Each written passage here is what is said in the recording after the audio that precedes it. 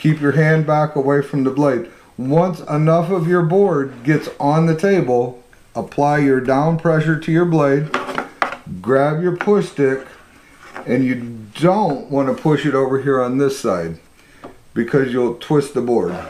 You want to push it center or a little closer to the blade. Now we're going to get this hand out of the way and we're going to push it through. Now that the cut is complete, we're going to hold this down with our push stick and we're going to turn the saw off.